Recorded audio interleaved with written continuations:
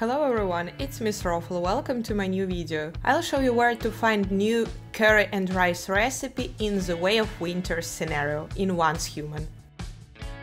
New curry and rice recipe can be found here. You can find it inside one of the houses near the whalebone camp. Just go to the kitchen and grab your recipe there. Now find it in your backpack and learn it.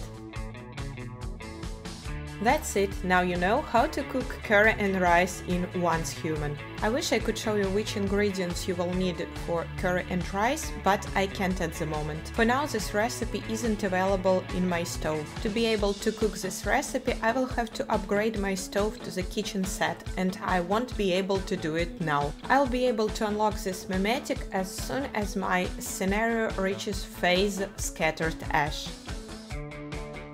Thank you for watching my video, I hope it was helpful. Please subscribe to my channel if you haven't yet and see you in my next videos. Bye bye.